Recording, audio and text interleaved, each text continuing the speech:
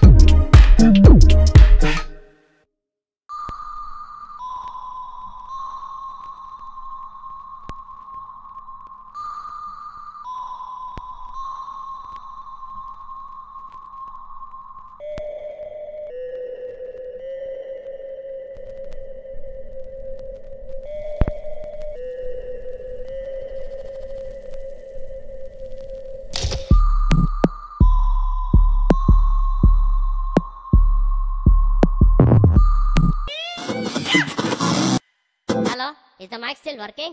Yeah, I paid 200 rupees for mic, Kotu man. I'm still waiting